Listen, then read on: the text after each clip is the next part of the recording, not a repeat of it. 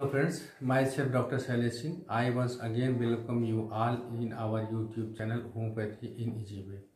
friends homeopathy में कुछ ऐसी मेडिसिन हैं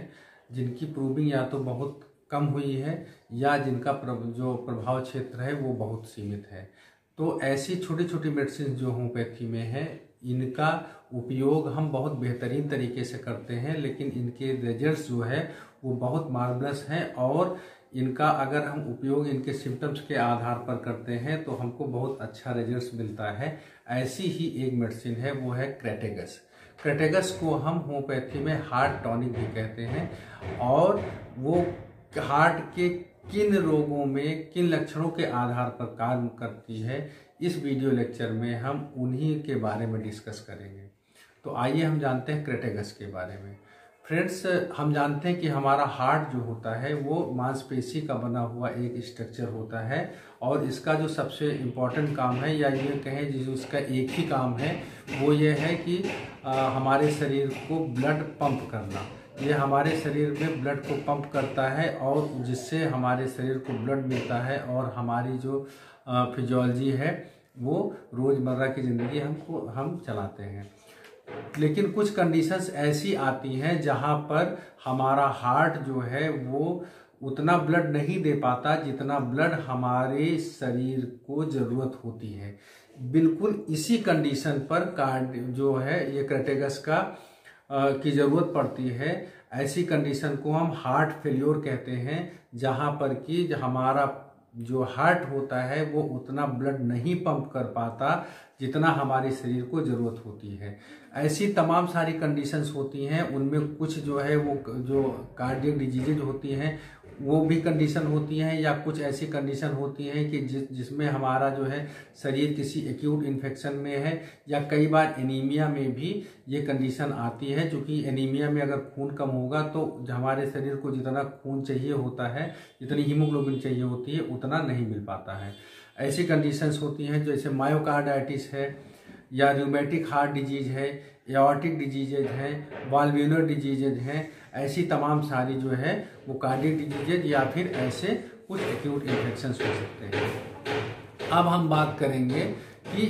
किन, इन कंडीशंस में वो कौन सा सिम्टम आता है, जिसके आधार पर हम क्रेटेगस का सिलेक्शन करते हैं। फ्रेंड्स ऐसी कंडीशन में जब हमारी बॉडी को जितनी ब्लड की रिक्वायरमेंट है, उतना ब्लड नहीं मिल पाएगा उस समय आप खुद ही सोचिए कि हमको कैसा महसूस होगा हमको क्या क्या दिक्कत हो सकती है। ऐसी कंडीशन में हमको गिरीनेस हो सकता है हमको चक्कर आ सकते हैं हमको जो है आ, हमारी सांस फूल सकती है दो कदम चलने के बाद हमको लग हमारी सांस फूल सकती है या फिर हमको जो है इंसोमनिया हो सकती है उलझन घबराहट हो सकती है हमको नींद आने में समस्या हो सकती है या फिर हमको जो है इरिटेबिलिटी हो सकती है, शरीर में सूजन आ सकती है, जिसको कार्डियक ड्रॉपसी कह कह सकते हैं। साइनोसिस होती है, जहाँ पर कि हमारे हाथ पैर में जो है वो नीले नीले हाथ पैर के जो उंगलियाँ होती हैं या जो अंगूठे हैं, वहाँ पर वो नीले हो जाते हैं। हमारा शरीर जो है वो,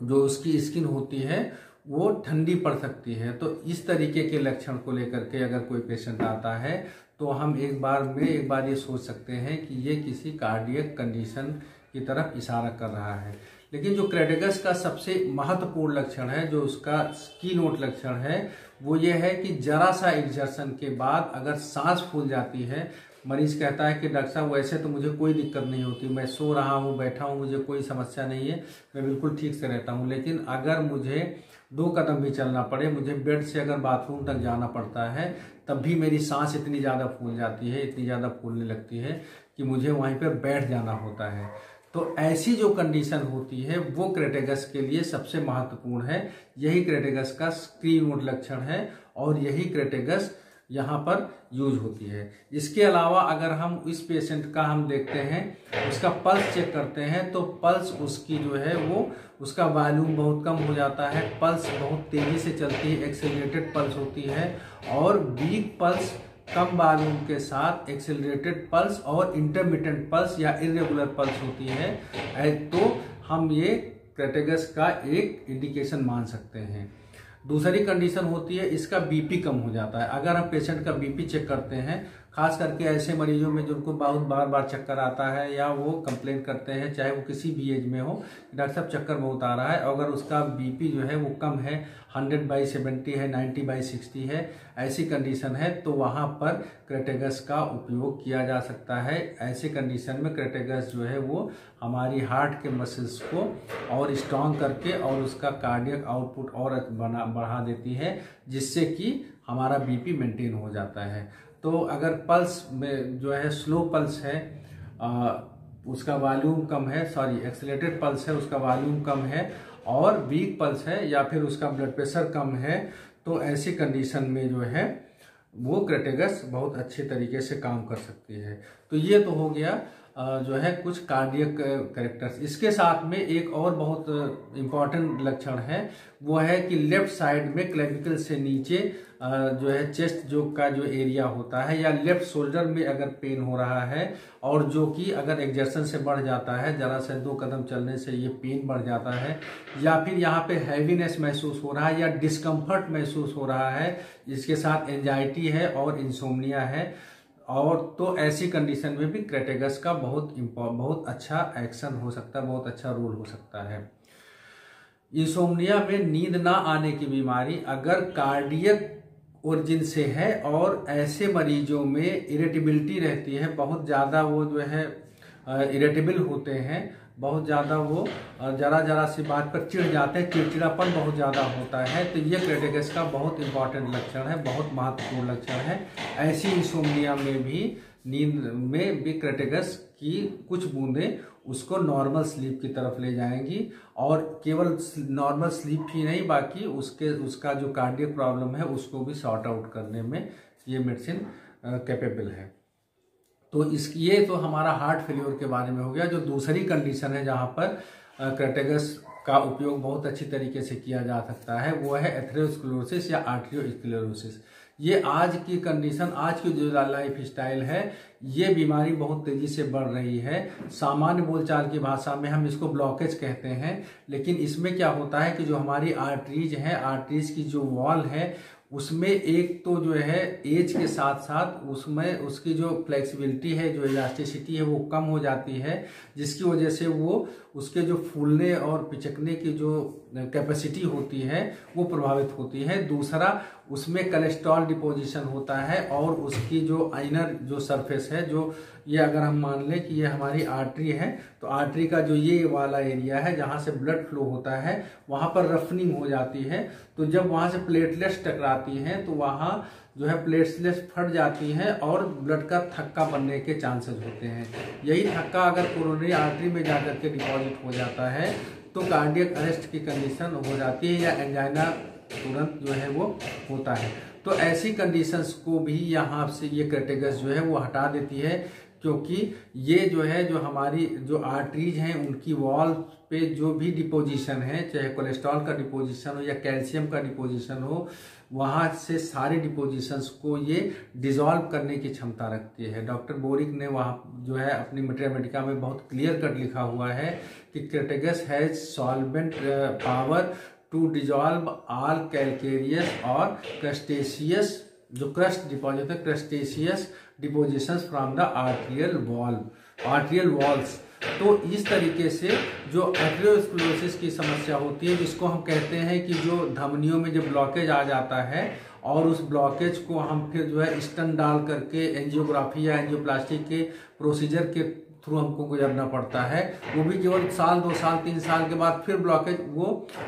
दूसरी आर्टरी में ब्लॉकेज आ जाता है या दूसरी जगह पे ब्लॉकेज हो जाता है। तो जो स्टन पड़ता है, वो भी उसका कोई इलाज नहीं होता एक टेम्परेरी तरीका होता है केवल उसको हटाने का। उसको क्रेटेगस जो है, वो बहुत आसानी से कुछ ही दिनों में वहाँ से जो है, उस डिपोजिशन को हटा करके और आर्टरीज को नॉर्मल कर देती है। ये भी क्रेटेगस का बहुत इंपॉर्टेंट जो है, वो वर्क है, जिसका हम उपयोग कर सकते हैं। इसके बाद कुछ और कंडीशन है, जैसे एक हेड एक तरीके का खास हेडेक होता है इसमें क्रेटेगस में जो ऑक्सीपिटल हेडेक होता है, पीछे गर्दन से लेकर के सर में दर्द होता है, और इस दर्द के साथ में अगर उसको चक्कर आ रहा है तो यहाँ पर क्रेटेगस काम का जो है रोल बहुत अच्छा है, लेकिन यहाँ ये बात ध्यान रखने की है कि ऐसी कंडीशन वो जो है सर्वाइकल स्पॉन्डलाइटिस में भी हो सकती है कैसे हम डिफ्रेंशिएट करेंगे दोनों कंडीशंस को? अगर ये सर्वाइकल स्पॉन्डलाइटिस है तो अगर पीछे दर्द के जो है ऑक्सीपिटल हेडेक के साथ वर्टाइगो कम, का जो है कंप्लेन कर रहा है पेशेंट और ये सर्वाइकल स्पॉन्डलाइटिस है तो वहाँ पर उस पेशेंट का जो ब्लड प्रेशर है, वो नॉर्मल होगा या या ऊपर होगा। लेकिन अगर जो है, ये क्रेटेगस वाली कंडीशन है तो वहाँ पर जब हम उसका पल्स और बीपी देखेंगे तो बीपी कम होगा। अगर लो बीपी के साथ में ऑक्सीपिटल हेडेक है और वर्टाइगो है तो ऐसी कंडीशन में क्रेटेगस बहुत अच्छी मेडिसिन है और इसकी कुछ ड्रॉप्स जो है वो बीपी को भी नॉर्मल कर देंगी हेडेक और वर्टाइगो को चक्कर को भी वो समाप्त कर देगी। तो ये बहुत, जो है बहुत अच्छा यहाँ पे क्रेटेगस का हम उपयोग कर सकते हैं। अगला जो वो है क्रेटेगस में, इसकी स्किन जो है, वहाँ पर बहुत ज़्यादा पर्सपायरेशन होता है और कई बार जो है, वहाँ पर बहुत सारे फुंसी या बॉयल या इचिंग इरप्शंस या कभी कभी चकत्ते भी देखने को मिलते हैं। तो अगर बहुत ज़्यादा पर्सपायरेशन के साथ इस तरीके की कंप्लेंट्स हैं तो वहाँ पर भी क्रेटेगस हमको उपयोग में ला सकते हैं। छोटे बच्चों में डायबिटीज़ में भी क्रेटेगस का उपयोग देखने को मिला है। अगर छोटे बच्चों में डायबिटीज़ है और उसके साथ में उनका जो है पल्स और बीपी बीपी लो रह रहा है, पल्स थोड़ा सा वीक है तो ऐसी कंडीशन में भी हम क्रेटेगस का उपयोग कर सकते हैं। तो ये तो रही क्रेटेगस की कुछ बातें। जो कुछ लक्षण जिनके आधार पर हम इसका उपयोग कर सकते हैं। अब अगर इसको हम समराइज करने का, की बात करें तो उसमें हम केवल इतना कहना चाहेंगे अंतिम में कि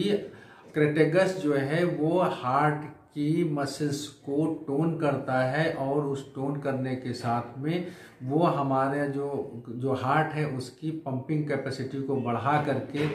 कार्डियक आउटपुट बढ़ाता है, जिससे हमारे शरीर को जितने ब्लड की रिक्वायरमेंट है, वो हमारे शरीर को मिलती है और इस ऐसी कंडीशन ये ये क्रिया करके ये हमको हार्ट फेल्योर से बाहर निकालती है। इसमें इसका जो सबसे इम्पोर्टेंट लक्षण है, वो ये है कि दो कदम चलने से अगर सांस फूल जाती है, इसको एग्जर्सनल डिस्निया कहते हैं तो ऐसी कंडीशन अगर है, वहाँ पर क्रेटेगस बहुत अच्छी तरीके से काम करती है। उम्मीद है मित्रों कि ये कि ये वीडियो आपको पसंद आया होगा। अगर आपको ये वीडियो पसंद आता है तो इसको आप और आगे जो है वो शेयर करिए ताकि और लोग भी इसका लाभ ले सकें। चैनल को अगर अभी अगर अभी तक आपने सब्सक्राइब नहीं किया है तो इसको सब्सक्राइब कर लीजिए, साथ में बेल आइकॉन को प्रेस कर लीजिए, जिससे आने वाले दिनों में जो भी वीडियो होम्योपैथिक मेडिसिन से संबंधित इस चैनल पर आए, वो आपको सबसे पहले मिल जाए। धन्यवाद।